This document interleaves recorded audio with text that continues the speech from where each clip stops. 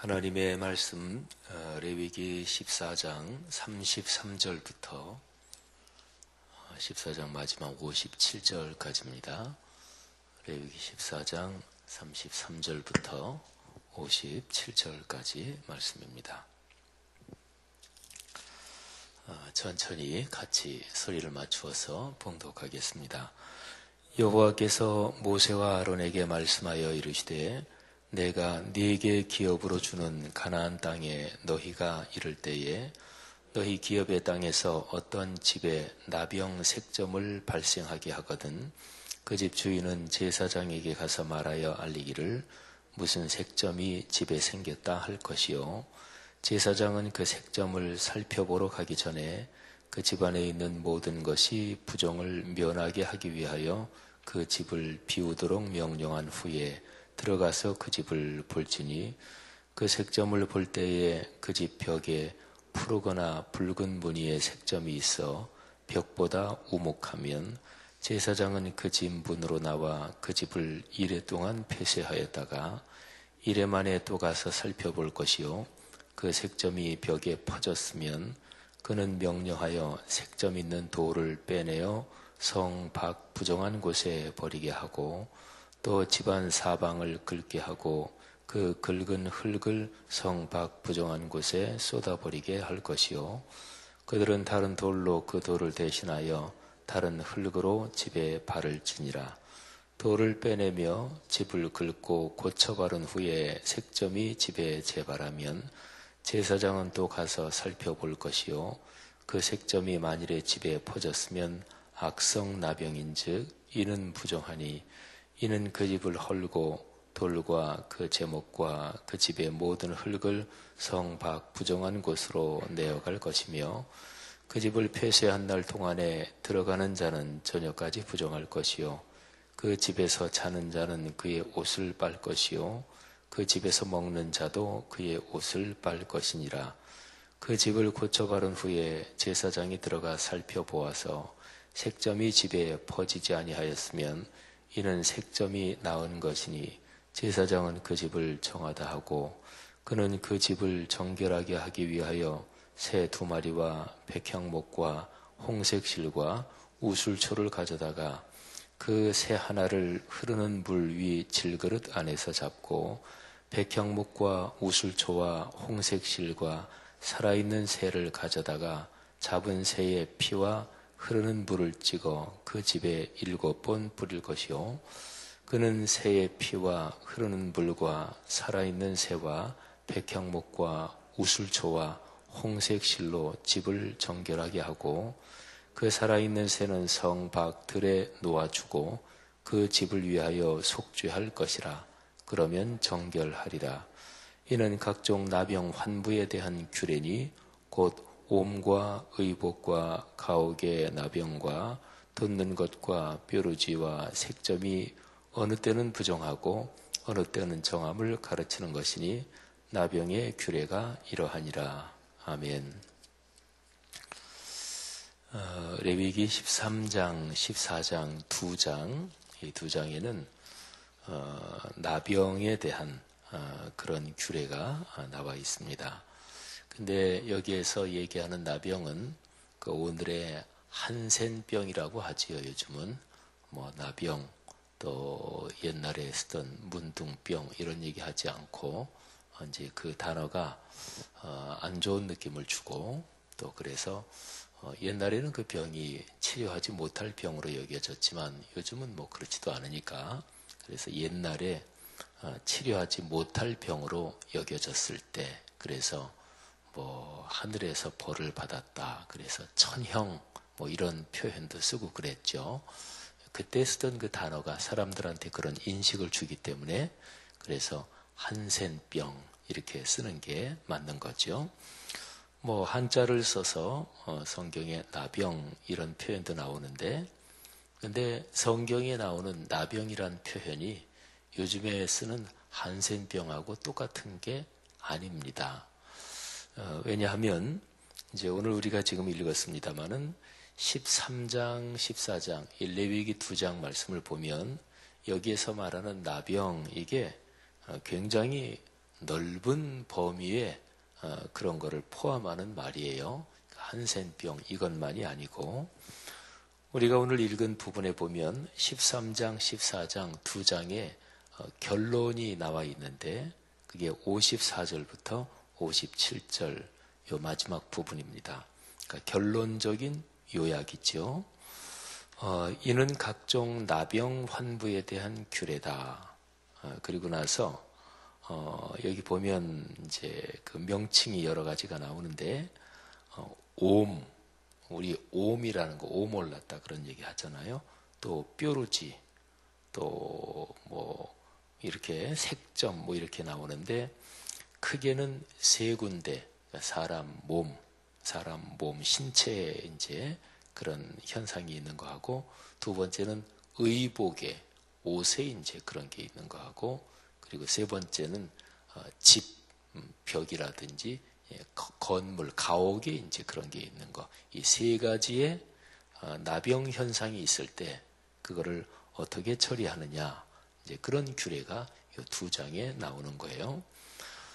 어 근데 사람 피부에 이제 그런 현상이 생기는 거 그거는 좀 이해가 되는데 옷이라든지 또는 집 벽이나 이런데 그런 현상이 생기는 것도 여기서 나병 이렇게 말을 했는데 요즘은 그러진 않잖아요, 그죠? 그래서 여기 나오는 나병이란 단어가 오늘의 한센병 그것만이 아니라 굉장히 광범위한 그런 현상을 다 이제 그 포함하는 말이에요.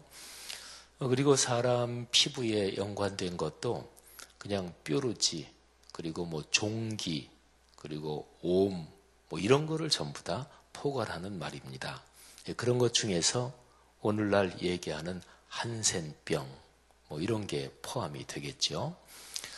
어, 당연한 얘기지만 옛날에는 요즘보다 못 고치는 질병이 더 많았습니다. 또 의학적인 그런 치료가 발전하지 않았기 때문에 어떤 병 그러면은 아 이거는 못 고친다. 그러면은 뭐 하늘에서 벌 받았다. 뭐 우리나라도 그런 거 많잖아요. 예, 그런 게 더 많다고 볼 수가 있는 거죠. 어 근데 이스라엘 백성이 어 이제 생활하면서 하나님의 백성은 하나님이 정결한 거룩한 분이시기 때문에 하나님의 백성도 거룩해야만 합니다. 어, 그래서 그 거룩함이라는 것이 뭐 예배 드릴 때 하나님 앞에 나갈 때 그런 때뿐만이 아니고 모든 생활 전체가 다 거룩해야 되는 거예요. 근데 그 중에서 사람 몸 이거는 참 중요한 것입니다.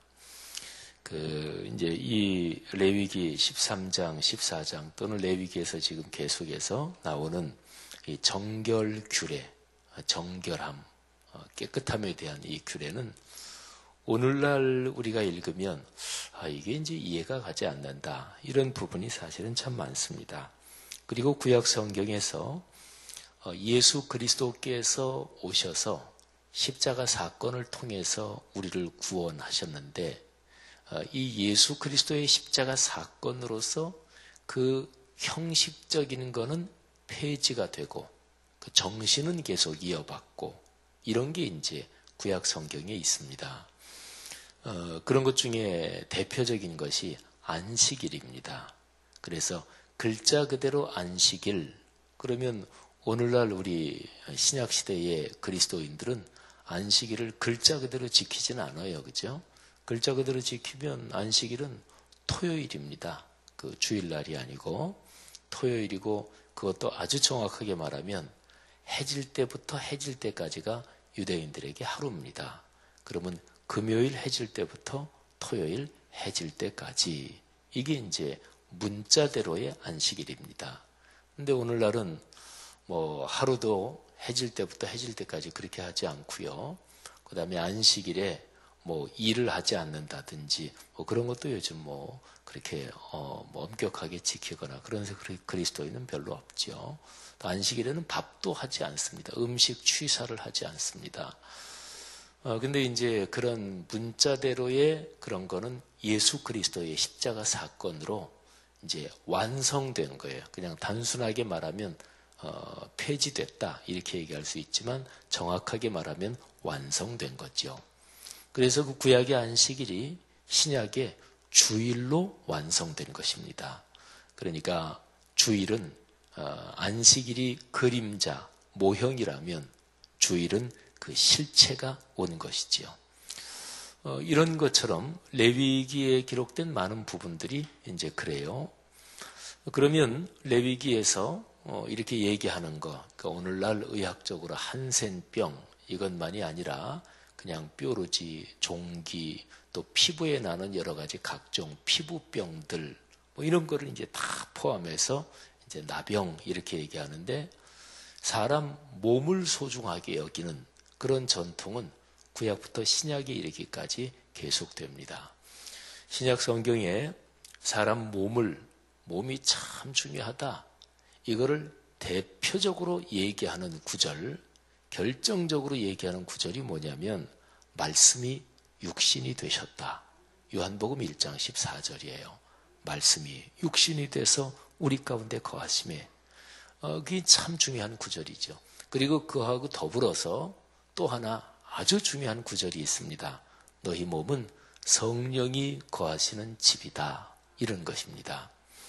그래서 이걸 한번 가만히 생각해 보면 말이죠. 음, 예수 믿는 사람은 어, 내가 하나님께 정석껏 예배하고 마음과 또 영혼을 참 정결하게 하고 그러면 됐지. 아닙니다. 기독교 신앙은 그러면 된 게 아니에요. 기독교 신앙은 몸도 소중하게 잘 보살펴야 돼요. 이게 기독교 신앙입니다. 어, 제가 가진 신앙관, 뭐, 제가 이제 목사니까 성경을 가르치고 설교를 하고 그러잖아요. 물론 저는 설교를 할 때, 뭐, 오늘 아침도, 예, 새벽도 마찬가지고, 아, 레위기 14장 33절부터 57절인데, 이 말씀을, 이 말씀에서 하나님이 어, 뜻하신 것을 어떻게 잘 전할까? 그게 최대한도로 노력을 하죠. 하지만 그것 외에 목사도 자기가 가진 신앙 스타일이 있어요. 스타일은 달라도 괜찮아요. 목사하고 성도도 달라도 괜찮고 성도들끼리도 스타일은 달라도 괜찮아요.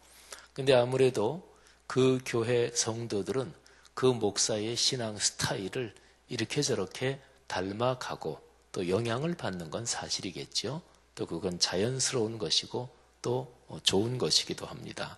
근데 제가 가진 신앙 스타일 중에 하나가 이거는 스타일이라고도 얘기할 수 있고 또 성경의 근본 가르침이기도 합니다. 제가 생각하기에는 그건 뭐냐면 신앙은 조화스러워야 된다. 조화와 균형이 아주 중요합니다. 조금 전에 얘기한 거하고 다시 연결시키면 어떤 사람이 어, 내 마음과 영혼을 정결하게 한다. 그러면서 자기의 몸을 돌보지 않고 몸은 그냥 마음대로 그냥 그렇게 내 굴린다. 그러면 그거는 바른 기독교 신앙이 아닙니다.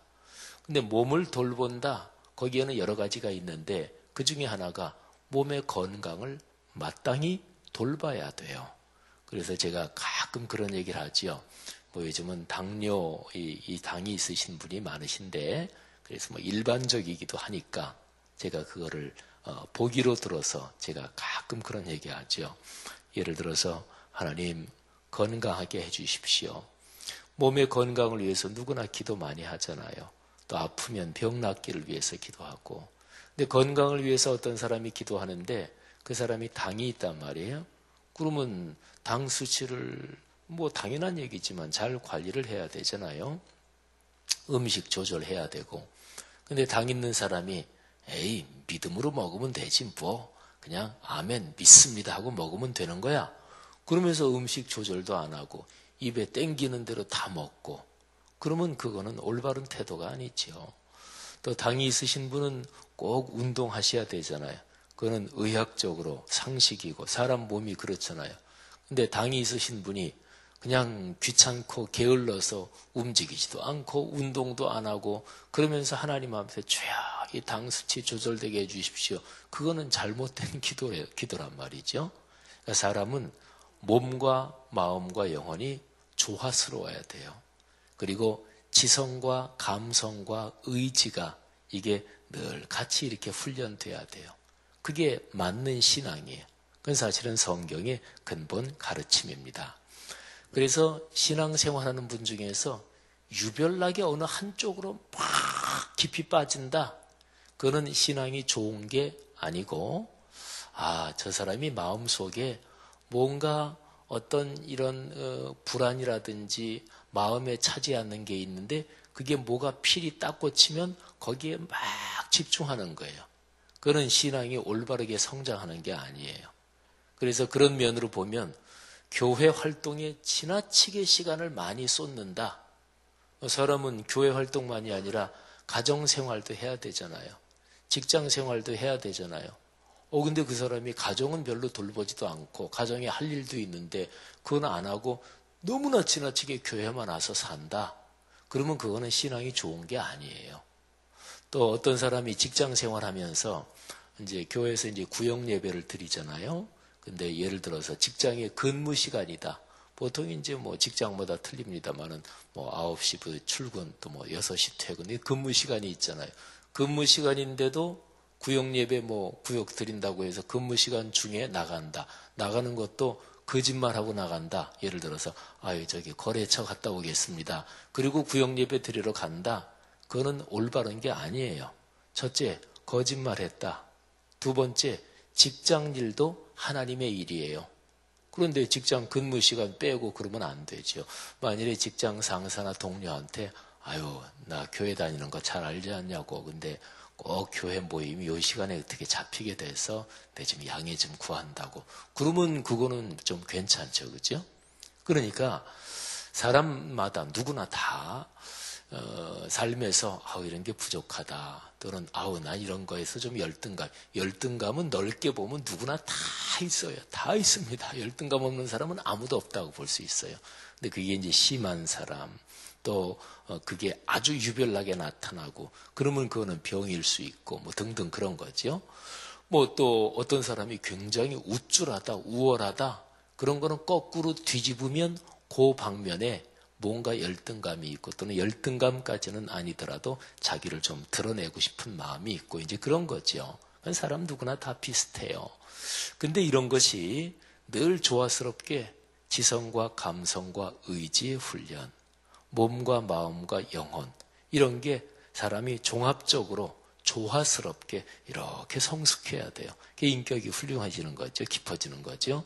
근데 이게 그러지 않고 자기의 부족한 점, 자기의 열등감 또는 어떤 우월의식 이런 게 한쪽으로 필이 탁 꽂혀가지고 글로 막 집중한다. 이렇게 되면 그 사람의 인격이 성숙하지 않습니다. 그리고 중단되는 거죠. 더 이상 신앙이 성숙하지 않고 딱 중단되고 한쪽으로 함정으로 빠진 거예요. 신앙생활은 30년, 40년, 50년 오래 했는데 그 사람의 인품이 훌륭하지 않다.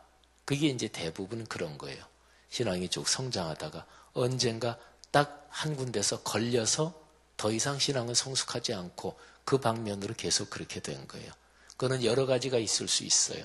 예를 들어서 어떤 사람이 성경 지식이 어, 느때 뭐 우리 교회에서 지금 성경 통독 운동 합니다만은 또 내년에 필사도 할 것이고요.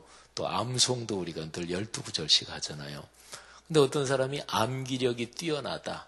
근데 어떻게 뭐 옛날에 다 살기 어려웠고 그래서 교육은 많이 못 받았다. 또 어, 다른 사람은 지식이 굉장히 많은데 자기는 좀 그렇지 못하다. 근데 암기력이 뛰어나다.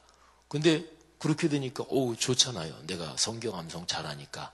그래서 성경 암송을 무지무지하게 많이 하고 거기에만 그냥 집중하는 거예요.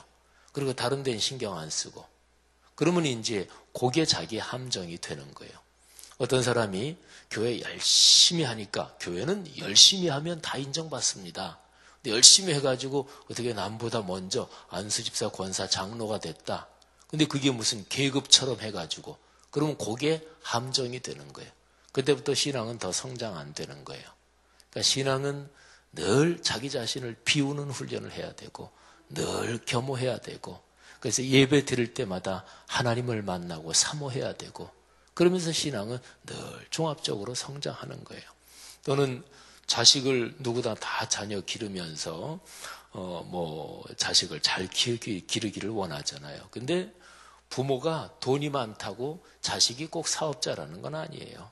부모가 뭐 어떻게 교육 많이 받았다고 자식들이 꼭 다 공부 자라는 거 아니고 그거는 누구도 몰라요. 근데 어떤 사람이 오 자녀가 굉장히 잘 됐어. 부모는 좀 뭐 그렇게 성공적으로 인생을 살지 못한 것 같은데 자녀가 굉장히 잘 됐어. 그럴 경우에 막 자녀가 자랑거리가 되는 거지요. 어, 그거는 당연하지요. 자식 잘 되면 얼마나 우쭐해요. 또 어디 가서 그 얘기 얼마나 하고 싶어요. 그잖아요. 누구나 마찬가지잖아요.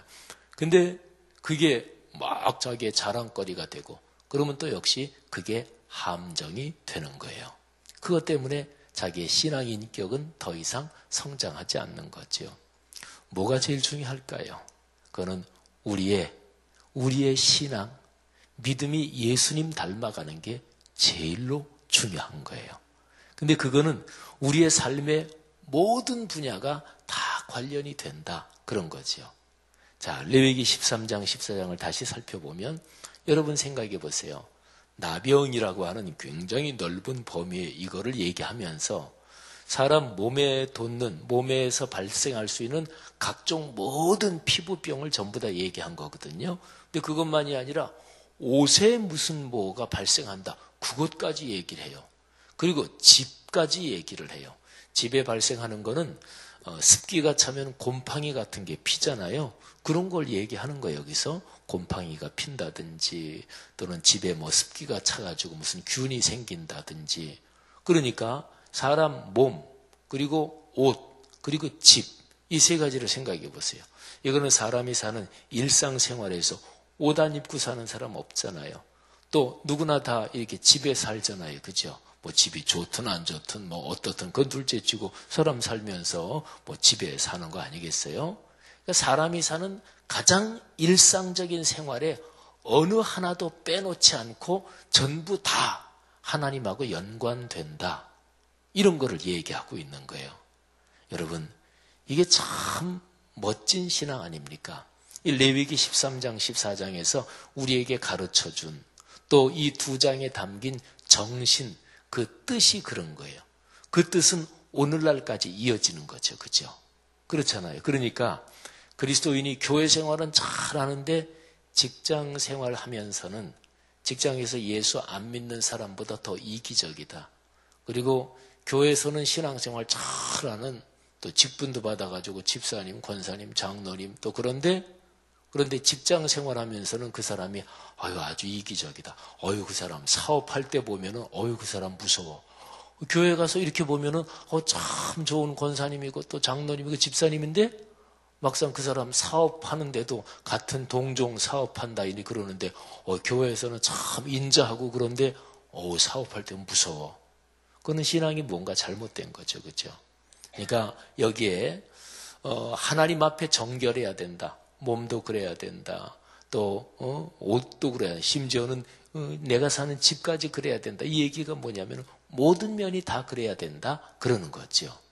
여러분 그리스도인이 이렇게 살면 그 그리스도인이 사는 사회, 그리스도인이 많아, 많은 사회는 사회가 아름답고 깨끗할 거 아니겠어요?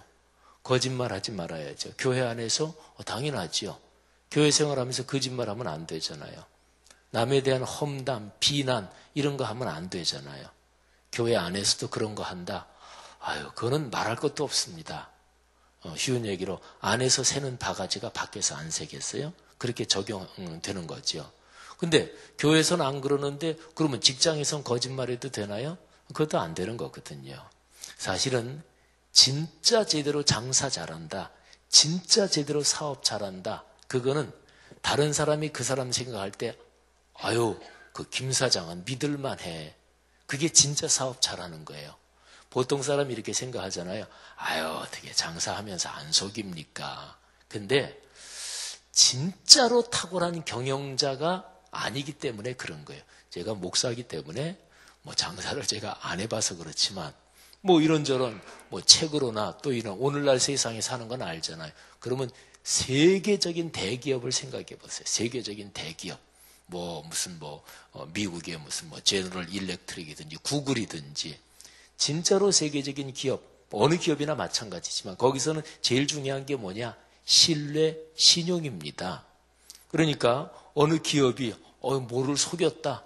그러면 기업의 매출액이 뚝뚝 떨어지는 거예요. 우리나라의 독일차, 폭스바겐, 그게 무슨 뭐 배출가스 뭐 이런 것 때문에 매출액이 뭐 몇천억 같이 쭉쭉 떨어지는 거예요. 돈 손해보는 거잖아요. 그런 거예요. 근본적으로 사람 사는 사회에서는 그러니까 작은 장사든 큰 장사든 그러니까 어느 집이 진짜로 그 집은 어, 재료 거기서 쓰는 음식 식재료가 진짜 거기는 믿을 만하다. 그런 이미지가 신뢰가 쌓이면 사람들이 그 집 많이 가잖아요. 그죠? 그 그런 거예요. 성경에서 말씀하는 근본 원리는 생활에도 다 적용됩니다. 거짓말하지 않고 정직하고 진실하게. 그리고 사람이 중요한 거잖아요.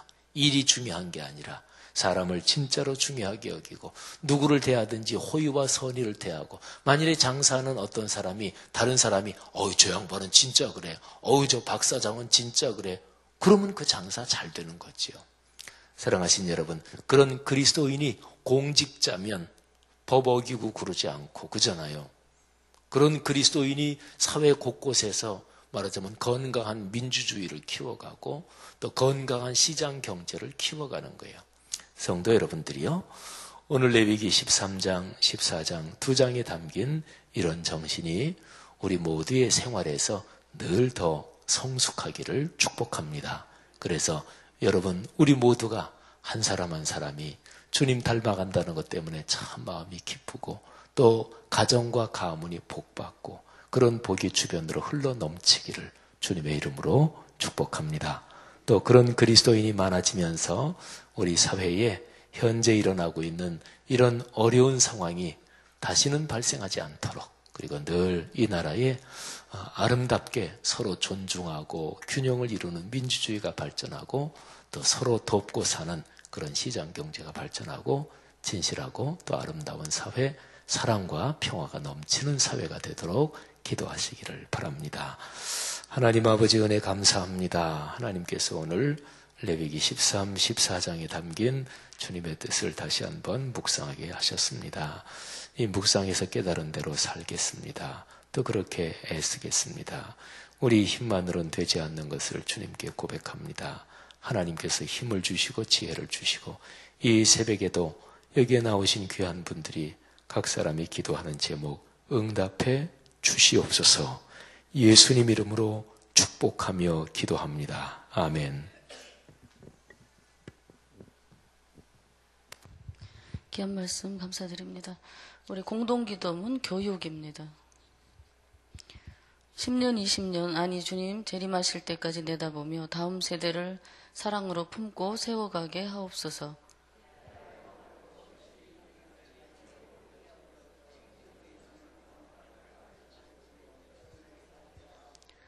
사무엘 요셉 다윗 부서를 크게 축복하옵소서. 청년부 싱크를 특별히 힘차게 하옵소서. 다음 세대를 아끼며 기도와 섬김으로 길러내게 하옵소서. 교회와 사회의 미래를 말씀으로 열어가게 하옵소서. 아멘. 다 같이 주기도문 하시겠습니다. 하늘에 계신 우리 아버지, 아버지 이름을 거룩하게 하시며, 아버지의 나라가 오게 하시며, 아버지의 뜻이 하늘에서와 같이 땅에서도 이루어지게 하소서. 오늘 우리에게 일용할 양식을 주시고, 우리가 우리에게 잘못한 사람을 용서하여 준 것 같이, 우리 죄를 용서하여 주시고, 우리를 시험에 빠지지 않게 하시고, 악에서 구하소서. 나라와 권능과 영광이 영원히 아버지의 것입니다. 아멘. 우리 함께 들으실 공동 기도 제목입니다. 지금 들은 말씀이 내 삶으로 이어지게 하옵소서. 성경 2천 통독을 통해 말씀의 복을 누리게 하옵소서. 화요 여전도 기도회와 교구 기도회 교구 전도팀에게 기도 응답과 전도의 열매를 허락하소서. 성전 입당 6주년을 맞아 더욱 교회를 사랑하고 섬기는 공동체 되게 하옵소서. 말씀삼 성경대학 양육반 훈련생들과 모든 훈련자들에게 믿음의 복을 더하소서 12월에 선물 나누기에 함께 동참하여 세상에 소외되고 외로운 이들을 위로하는 손길 되게 하소서 대림절을 맞이하여 이 땅의 평화의 왕으로 오신 예수 그리스도를 대망하게 앞서서 다음 세대가 지혜롭고 건강하게 잘 자라게 하시고 각 부서에서 준비하는 성탄 축하 발표회를 축복하소서 어그러진 자아상을 보여준 국가 지도자들을 불쌍히 여겨주시고 당면한 모든 위기를 잘 극복하게 하소서. 이와 같은 기도 제목을 함께 기도하시고 가지고 오신 기도 드리신 후에 자유롭게 삶의 자리로 나가도록 하겠습니다. 하나님 아버지 참 감사합니다. 어, 다른 목사님을 통해서